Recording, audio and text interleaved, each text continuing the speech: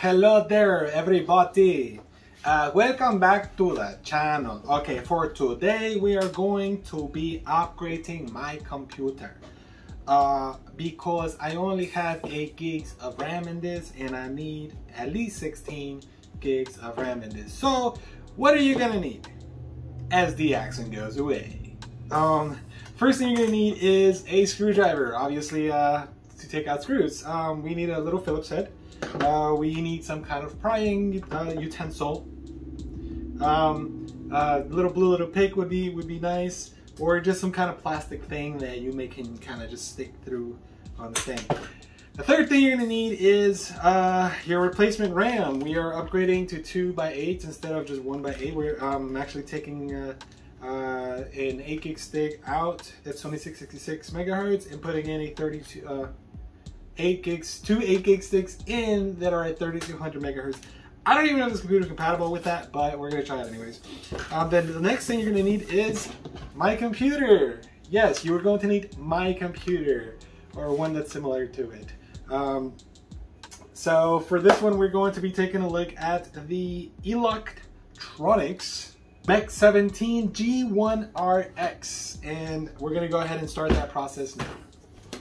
All right, so as I mentioned this already, this is one of my personal units. Um, so you're gonna notice a couple of things. All right, so first thing we're gonna do is we're gonna turn it around. And I don't know if you can see it on camera, but I'm already missing two screws.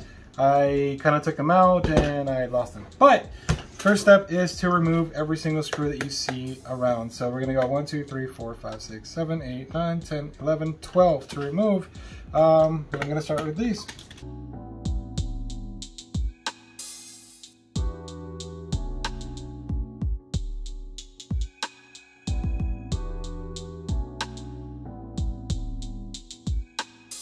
Okay, we got that done. Now the next step is gonna be to grab your spudger or any kind of like prying tool, uh, lift it up like so, and start out from the front. And it should pop just like that. And we can work our way around the back.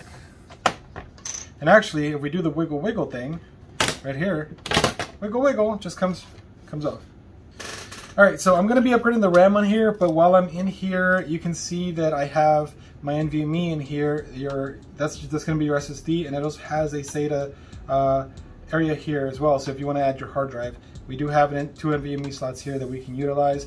All, all it takes to, uh, to do that is remove this screw to take out your NVMe. You kind of pull this out this way, and then you install your new one in just like that. Nothing too complicated. All right, so for the RAM, we have uh, an empty slot on this side, and we have um, a slot populated on this side. What you're gonna do to take out the RAM is there's gonna be two little latches here, one left and one right, or one right, and one left, however you're looking at it. We're gonna pull these outward like this, one, two, and this is, and the, the RAM's just gonna pop up by itself. We're gonna pull this towards us, like this, and it'll come right out. Now we're gonna replace the RAM with two 8 gig 3200 sticks.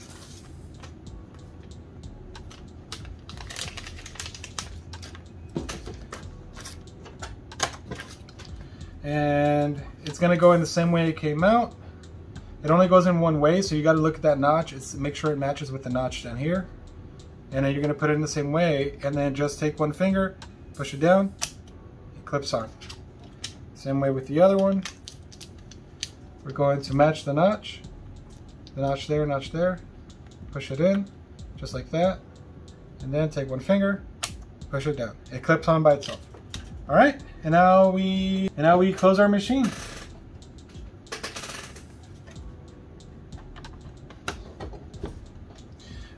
Go ahead and make sure that your clips are in all the way to the back.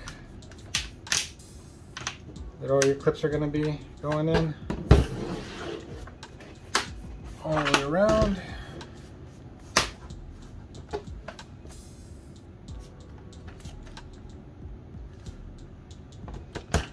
Once all your clips are in properly, just go ahead and put your screws back in the way that you took them out.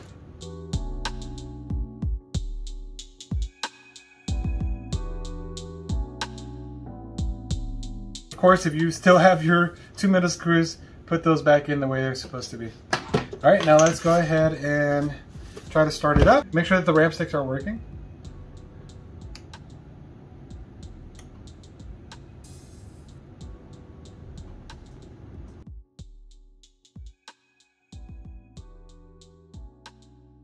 All right, so once you have your computer up and running, just go ahead and start a task manager and make sure that both of your sticks are being detected and that your speeds are running correctly. Ours seems to be compatible with 3200 megahertz RAM, so that's good. If your computer does not properly boot, let's say it, you wait for a long time and you get a black screen, uh, it could mean that you possibly did not insert it incorrectly, or you might have a bad RAM stick.